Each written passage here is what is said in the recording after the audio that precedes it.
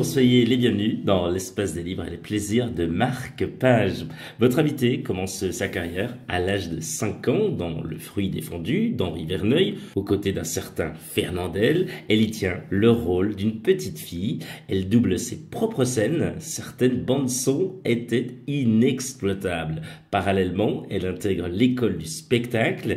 Elle est une voix secondaire récurrente dans les séries télévisées américaines mondialement connues Dallas, Morgan Brittany, Desperate Housewives, Christine Estelbrook, Neptuke, Russ Wilmason, NCIS Los Angeles, Henrietta Etty, Lange. Au cinéma, elle a doublé euh, Kevin Corcoran entre 1957 et 1960 dans ses rôles d'enfant. Vous l'entendez également chaque dimanche soir pendant un mois, chaque année. Cela fait déjà pas mal de saisons. Elle double le rôle de Brenda Bletling qui interprète Vera, votre invitée à la télévision. Ça donne ça. Inédit, dimanche. 3, 2, 1, enquêter. Ça s'est passé quand? Qui a dit quoi? À qui? Pour se lancer dans un marathon de l'enquête, il faut respirer, s'hydrater. Encore une fois, j'en peux plus. Et ne rien lâcher. Vera, la plus endurante des enquêtrices, dimanche à 21h05 sur France 3 chansons, ce sont juste des histoires mises en musique. Les chansons que j'ai écrites racontent l'histoire de ma vie. Chaque tentative, chaque bataille, chaque sourire, chaque déboire. C'est la mélodie de mes souvenirs. C'est l'écho de tous mes états d'âme. Joline, ramène ton joli petit cul ici, si tu veux bien. Soyez la bienvenue à Wisteria Lane. Je suis Martha Huber. Marie-Alice Young. Alors, vous avez un mari? Le mien est mort. Oh, j'avais le même fauteuil avant. Je l'ai balancé, il se cassait tout le temps. J'ai horreur des meubles au rabais. Lieutenant Dix Lang. Etty Lang? Non, merci, je viens de prendre un thé. Mais je vous remercie. En fait, c'est mademoiselle. Et je préfère qu'on m'appelle Etty. J'imagine que vous devez encore avoir un peu mal après le bottage de derrière que le chef de la police a dû vous administrer. Parce que je viens de recevoir un traitement relativement similaire de la part de mon directeur. Il semblerait que nos deux services devraient songer à mieux coordonner leurs opérations. Donc mon patron voudrait nous assigner un officier de liaison appartenant à la police de Los Angeles. Et votre patron trouve que c'est une excellente idée. Nous sommes d'accord je leur ai répondu que nous en avions déjà un. Il s'agit de Marie-Martine. Elle vous dit tout de sa carrière, de son métier dans le cinéma et le doublage. Et puis également, on va apprendre beaucoup, beaucoup de choses sur elle. Marie-Martine, bonjour et bienvenue dans la chronique de Guillaume Sautet. Bonjour. bonjour Guillaume. Ravi d'être avec vous, Marie-Martine. Comment allez-vous? On est, on est ravis, vraiment. Eh bien, je vais très bien. Je vais très bien, je vous remercie. Racontez-nous votre parcours, oui, pour en arriver là où vous en êtes, et notamment, ben, le moment où vous avez intégré euh, l'école du spectacle, oui, euh, voilà vos, vos, débuts, racontez-nous un peu euh, pourquoi s'orienter vers le cinéma, enfin, et puis ensuite l'école, racontez-nous tout ça. Oh, écoutez, c'est bien vieux, hein. j'espère que je vais m'en souvenir parce qu'il y, y, a vraiment beaucoup, il y a vraiment longtemps. J'ai intégré l'école du spectacle après avoir tourné donc avec Fernandel dont je faisais la fille dans Le fruit défendu et bon, bah, les, choses euh, se sont faites euh, automatiquement. Euh, j'étais toute petite, je chantais, je dansais, je chantais déjà pas mal. Et je suis rentrée à l'école du spectacle. J'étais la Benjamine, figurez-vous. Mais il fallait savoir lire couramment pour pouvoir y rentrer. Et ce qui était mon cas. Donc j'y suis rentrée et c'était formidable parce que c'est une enfance, petite enfance, parce que je, n'y suis pas restée très très très longtemps parce que je travaillais pas beaucoup. Il a fallu voir un petit peu les choses plus sérieusement. Mais c'était formidable parce que euh, on y apprenait la musique, le chant, la danse, enfin tous les cours étaient sur place. Et puis j'ai eu des, des prédécesseurs célèbres euh, comme Charles Aznavour qui en faisait partie aussi. Enfin c'était c'était assez formidable. On n'était pas dans une école normale on parlait de, de ce qu'on avait fait, de ce qu'on qu'on allait faire. Il y avait des gens du cirque, il y avait des gens du, du théâtre, enfin, une enfance dorée, enfin, quelques années dorées. Voilà. Non, on s'en est rendu compte qu'après, bien évidemment, parce que pour nous, tout était normal. C'est génial tout ça, il y avait plein plein de, de cours, du cirque, la danse, du chant. Oh, c'est ça oui, devait être oui, passionnant. Oui, euh, maintenant, il y a beaucoup de sportifs à l'école du spectacle. bah, des, gens qui sont en, entraînement parce qu'ils ont, ont, des horaires spéciaux. Mais nous, à l'époque, on avait, euh, on avait, on n'avait pas cours le matin. On avait cours à partir d'une heure l'après-midi parce qu'il y avait beaucoup de d'enfants qui, jouaient le soir au théâtre. Enfin, c'était pour nous permettre de dormir. Et puis après, quand on avait fini nos cours, sur place, selon les jours, on avait cours de solfège, de piano, de, de comédie, de danse, enfin voilà, un petit peu de tout. Et ben, on était habitués comme ça. et c'était notre vie. Voilà. Génial, Un peu à l'américaine, mais ça n'existe plus maintenant. Je crois qu'ils ne le font plus. Enfin, ils n'ont plus les cours sur place. Et ensuite, on m'a changé d'école parce qu'il fallait quand même que je, que je fasse des études sérieuses, ce que j'ai fait. Voilà. Tout en continuant à travailler avec des, aménagements d'horaire. Parce que j'ai continué à, travailler, j'ai fait beaucoup de synchro et voilà. Et comment ça, s'est passé? Enfin, expliquez-nous, euh, le, surtout le, déclic à un moment donné euh, pour vous dire c'est dans le cinéma que je, je veux faire, c'est dans le, le, cinéma, j'ai envie d'être là-dedans. Alors je sais encore, voilà pas quoi réellement. J'ai envie de rien du tout, j'y étais. J'ai suivi le chemin. Euh, mais depuis le début, début. même jamais posé de questions. depuis le début, début. À, à 5 ans, vous saviez déjà, avec ce, ce, ce rôle-là, que vous alliez en faire votre métier? C'est parti comme ça tout seul. Euh, on m'a appelé, euh, enfin, on a appelé mes parents, hein, mais on m'a appelé, ça a continué tout seul et les choses se sont enchaînées. moi, je, j'adorais faire ça, donc ça posait aucun problème. Je me suis jamais posé de questions. Alors, vraiment jamais posé de questions. Vous y êtes pris de, de, plaisir, vous n'avez jamais arrêté. Et euh, euh pour moi, c'était ma vie, comme euh, d'autres ont une autre vie. Euh, euh, je sais pas, moi, quelqu'un qui, qui, qui, naît dans, dans un autre milieu, qui est entraîné dans, dans ce milieu. Moi, j'étais entraînée dans ce milieu. Pour moi, c'était tout à fait normal. Je chantais encore des, en plus à l'époque. Je faisais des galas, je j'allais à droite, j'allais à gauche. C'était, c'était pour moi, c'était les autres qui n'avaient pas une vie normale. c'est bon, voilà. Quand euh, vous, euh, notamment, n'êtes pas sur les, euh, les tournages, allez, on peut dire comme ça, les plateaux. plateaux, oui. Voilà, plutôt. Qu'est-ce que vous aimez faire? Quelles sont vos passions? Ah ben moi, tout me plaît. Alors là, à partir du moment où j'ai un rôle à défendre, tout me plaît. Euh, j'ai toujours dit que j'adorais faire des dessins animés, mais j'en ai fait beaucoup. Mes passions au niveau du travail Ah non, hors que le travail. Ah, hors du travail Oui. Ah, ok. au, grand dame de ma famille, il n'y a que le travail. non, j'ai pas de passion en dehors de mon métier, en fait. C'est vrai pas, oui, de, oui, vrai. pas de sport. J'aime faire la cuisine, j'aime les fleurs, j'aime plein de choses, mais c'est pas des passions. Moi, ce qui compte avant tout mon métier. C'est quand on me téléphone, non, maintenant c'est des SMS qu'on m'appelle, est-ce que, est-ce que tu es libre pour faire ça ou pour faire ça? Je lâche tout ce que je fais et j'y fonce, oui, bien sûr. Euh, mais c'est extra la cuisine c'est une passion. Ah oui, non, mais c'est pas pareil. mais c'est une réelle passion. Qu'est-ce que vous aimez cuisiner? C'est génial, ça. Ah oui, oui, j'aime beaucoup cuisiner. C'est vrai? Qu'est-ce que vous aimez faire? Mais c'est super. Oh, bah, je fais tout. J'ai des bouquins euh, plein, plein à la maison. Euh, d'ailleurs, rien qu'à lire les bouquins, ça me donne déjà faim. Même si je fais pas la recette, voilà. Plutôt sucré ou salé, alors, pour le coup? Oh, ben, moi, je suis salé, moi. Ah. Et en vieillissant, je dois dire que le sucre m'attire un petit peu plus. Nous sommes chez vous, avec vous, et là on va s'intéresser puisque vous êtes dans l'espace des livres. Et eh ben on va y en parler un petit peu. On est on est donc chez vous, on se dirige vers votre bibliothèque. Il y a des livres, il y a des livres de cuisine, recettes, mais pas que. Qu'est-ce qu'on peut y retrouver notamment à l'intérieur de celle-ci? Ah, Oh là là, bah, il y a de tout il y a de tout. Il y a des livres euh, de la littérature française en général. Euh, et puis il y a des livres, euh, il y a beaucoup de livres de photos, de pays que je n'ai pas vus mais que j'irai bien voir, mais que je n'irai jamais voir parce que j'ai pas le temps. je sais pas, il y, y a des polars, il y a de tout en fait. Je suis curieuse de tout. Vous êtes un peu une, touche à tout, une curieuse de, tout, c'est génial. Ah, je devrais peut-être approfondir davantage parce que toucher à tout, c'est pas. Enfin, c'est comme ça. Marie-Martine, adressons-nous cette fois-ci eh bien, votre métier dans le cinéma et dans le doublage.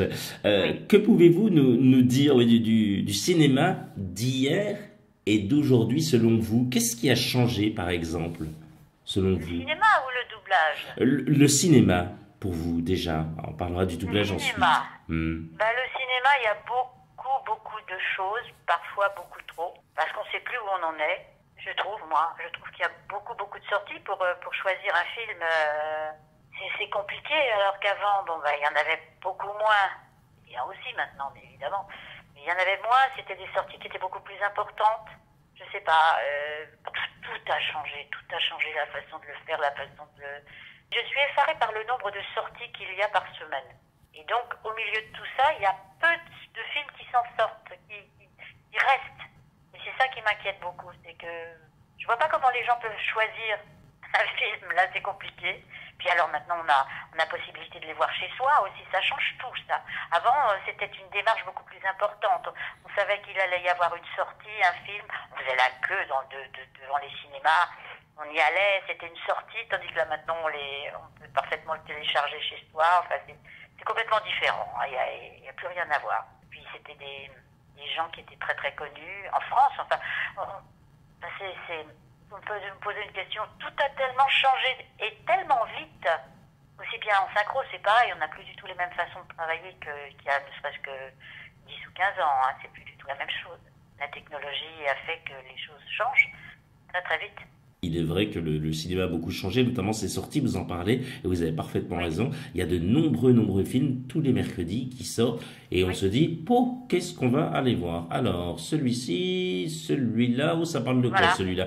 Et c'est hyper compliqué parce qu'en même temps, et vous avez également raison, euh, Marie-Martine, c'est que les films, peut-être pour certains, marchent moins que, que ce qui aurait pu se, enfin, ce qui aurait pu se faire par le passé. Pourquoi? Parce qu'il y en a tellement qui sont pris euh, en fait au milieu. Ils sont un peu au milieu, Voilà. donc ils sont, Exactement. ils sont un peu, euh, un peu cachés. Et c'est dommage parce qu'il y a des films qui valent vraiment le coup et qui ne font peut-être pas forcément d'entrée comme euh, on penserait et qui le mériteraient tout autant. C'est vrai ce que vous dites. Tout à fait, tout à fait. Alors qu'avant, une sortie, c'était très très important, mais il y en avait beaucoup moins, donc on, on les ciblait davantage.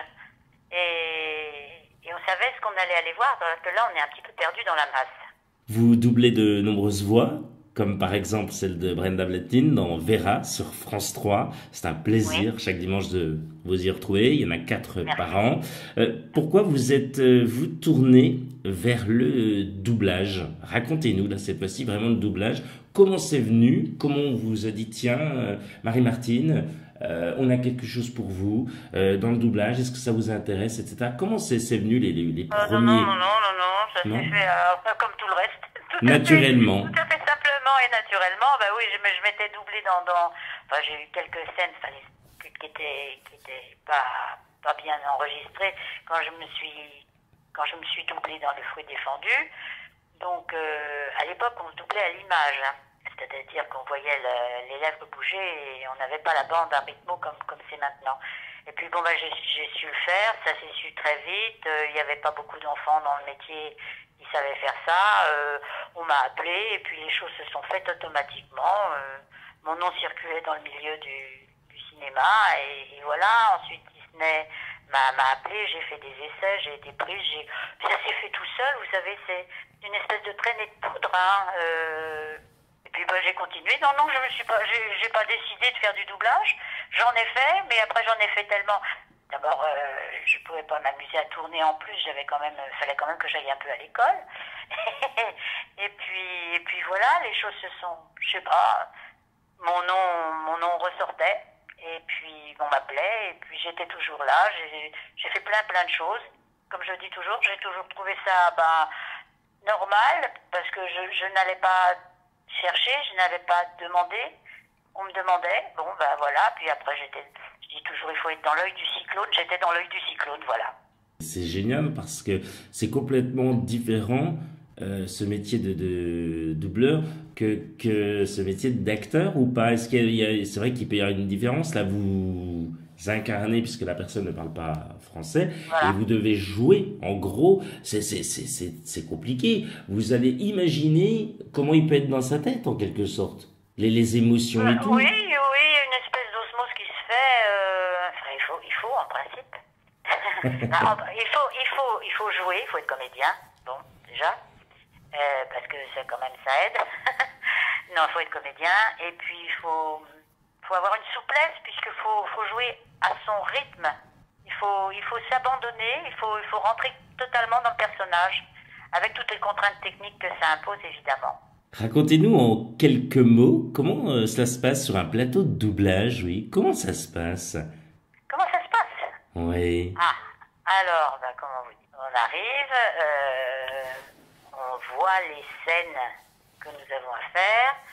Le directeur artistique nous, nous explique euh, la situation, bien évidemment.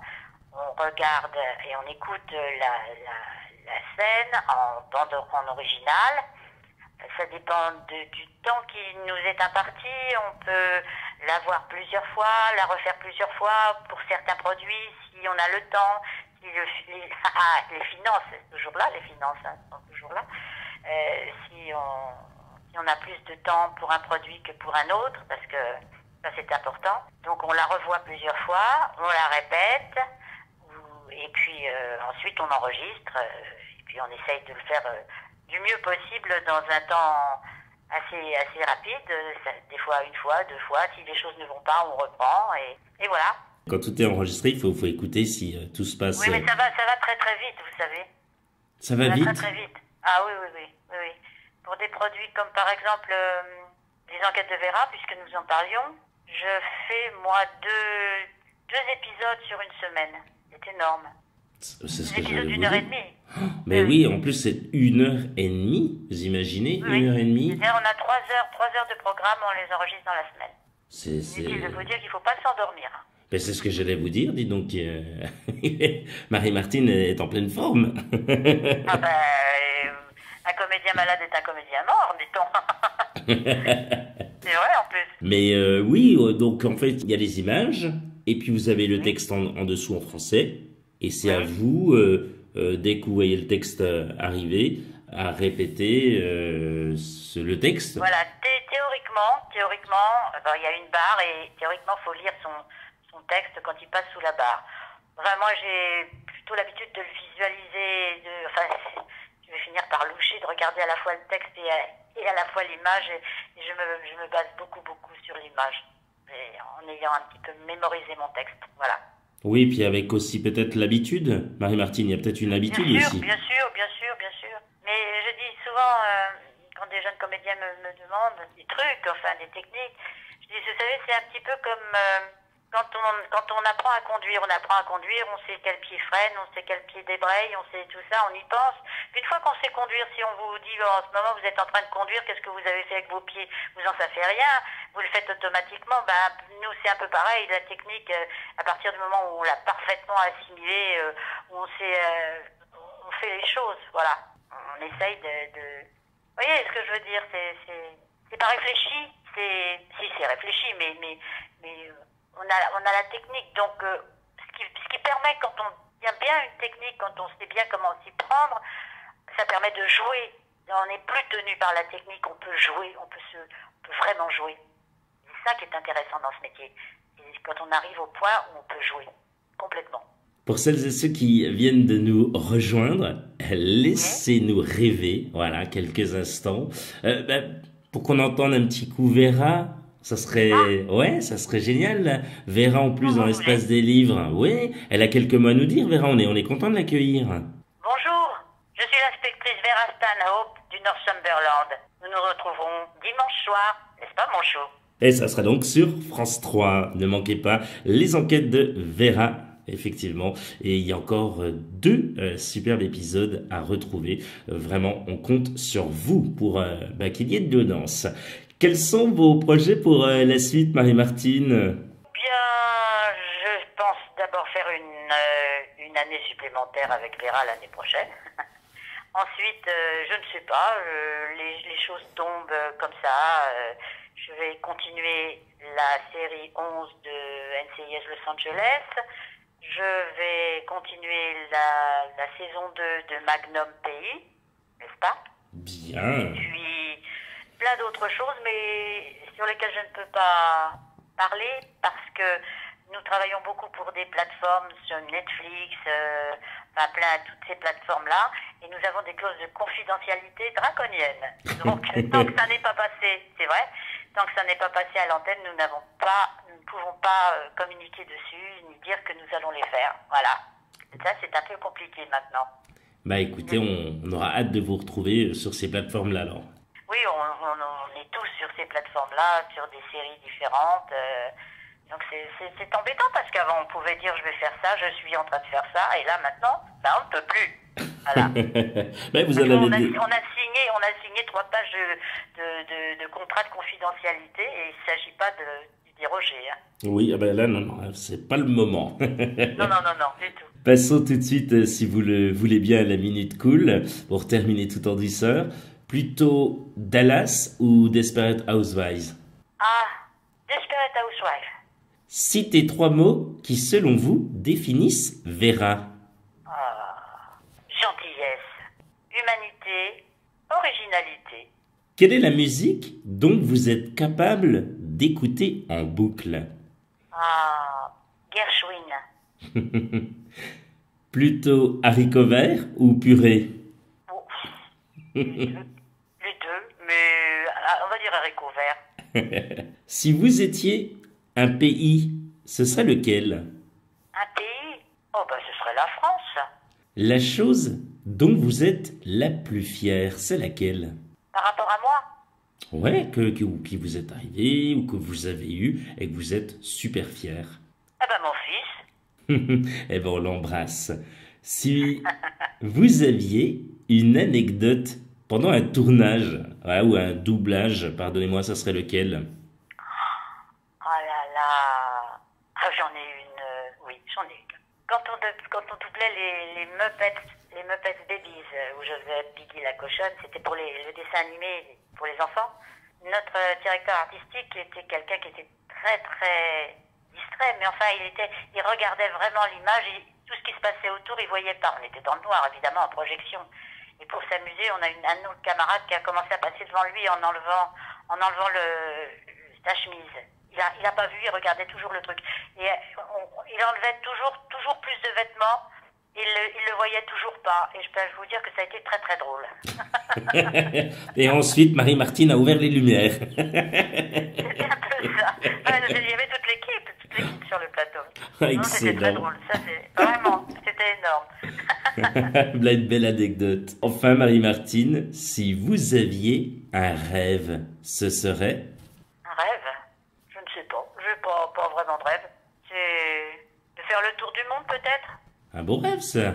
Ah si, on, le prend, on le prend. Marie-Martine, merci d'avoir accepté euh, l'invitation de la chronique de Guillaume Sauté. On rappelle bien sûr que vous êtes euh, chaque dimanche euh, sur France 3. Cela, c'est quatre fois par an. Et puis pour d'autres projets, bien entendu, à très bientôt.